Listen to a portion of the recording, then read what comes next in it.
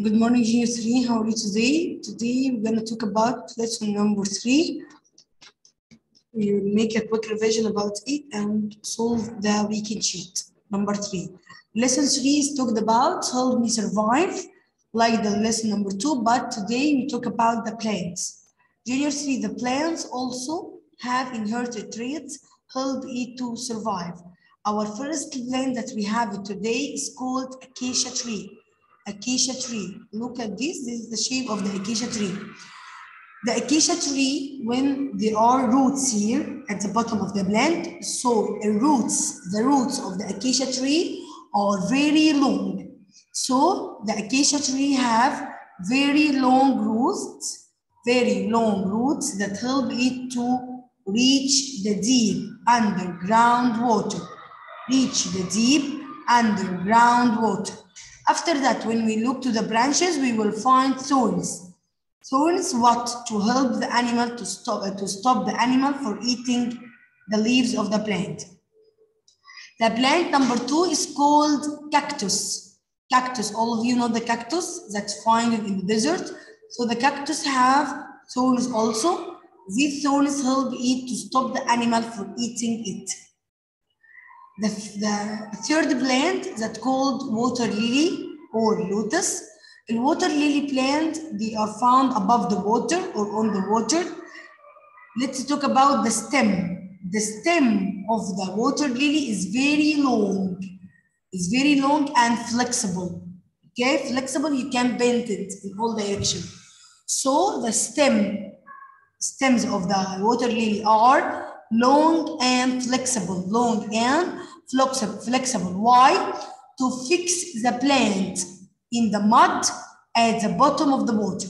To fix the plant in the mud. The mud mean like the soil of the plant or when we bring some sand and added water, it changes to mud. So the stem is very long and flexible. Why? To fix the plant in the mud. Number two, it has big round leaves. When we look to the leaves of the plant, there are big round leaves that float in the water, not sink in the water, no, above the water, on the water. Why?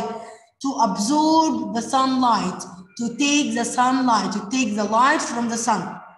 Okay, yep, the leaves are big round leaves that float on the water to absorb sunlight.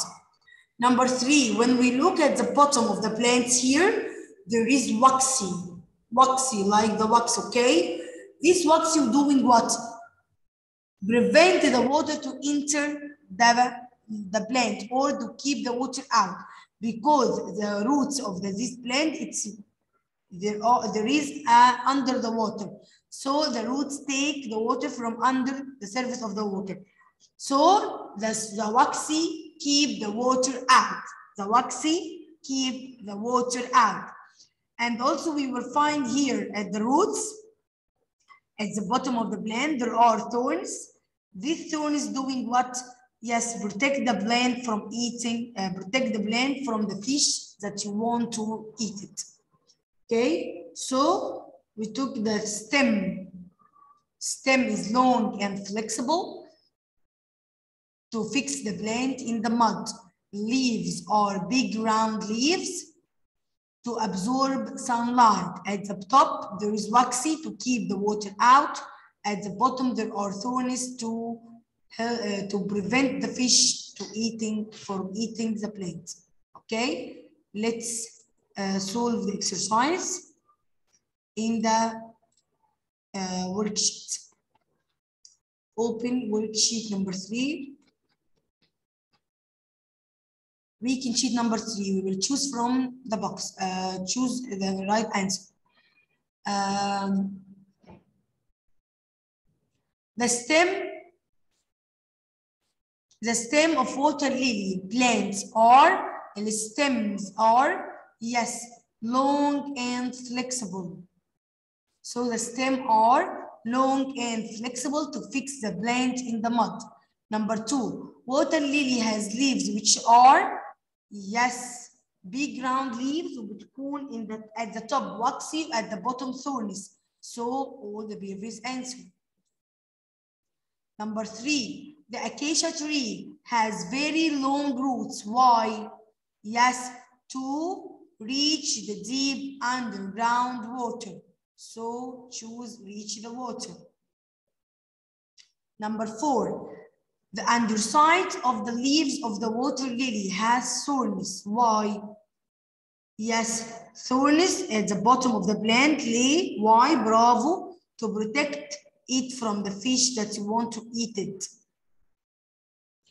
Number five, in water lily plant, the what of the leaves is waxy. The, the top or the bottom? Yes, the top. The top is waxy, but the bottom there are thorns. Okay, junior three. Okay. Number six, which has thorns, help it not to be eaten by the animals.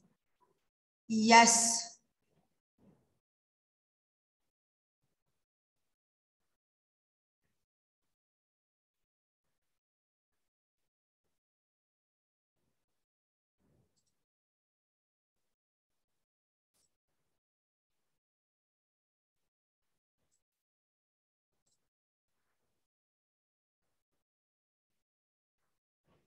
برافو عليكم cactus which are passed from parents to their baby yes this is called inherited traits they are characteristics or trait passed from parents to their baby inherited traits okay junior three okay turn the page match in this picture we will match every animal with his parents.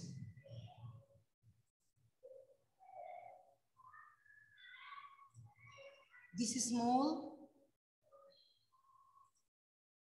this is small chicks, yes, with chicken. The small birds with his parents. They have the, the same inherited traits. Boy and girl, yes, with his mom and dad. Small kitties with here, yes, cats.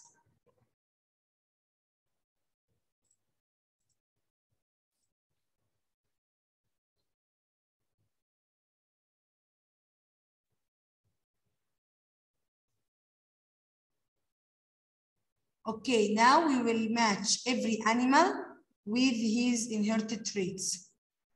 Okay, let's start with giraffe. Giraffe has what? Yes, tall neck helps it to reach the leaves of tall trees for feeding. Yes, the rabbits. Yes, rabbit has large ears to help it to hear and avoid any danger. Turtle has, yes, shell to protect it against the enemies. The hedgehog, yes, has a spines, protect it from the enemies. Okay, junior three, all of you understand? Okay, super. Bye.